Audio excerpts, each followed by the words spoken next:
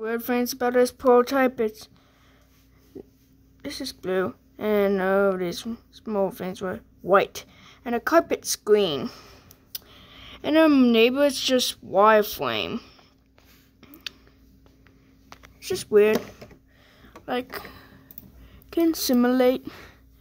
Look, I just can't put the blue trash. Oh wait, this is a bucket. I can put the blue bucket on the table. So yeah. What is this?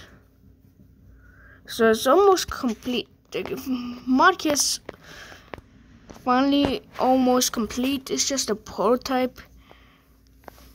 So yeah, the real game may have the mod kit.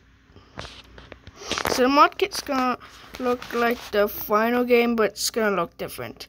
So the plate, so the plate with this complete. Remember, these other things were just a placeholder, except for the the finished plate with the blue things. So yeah, bye.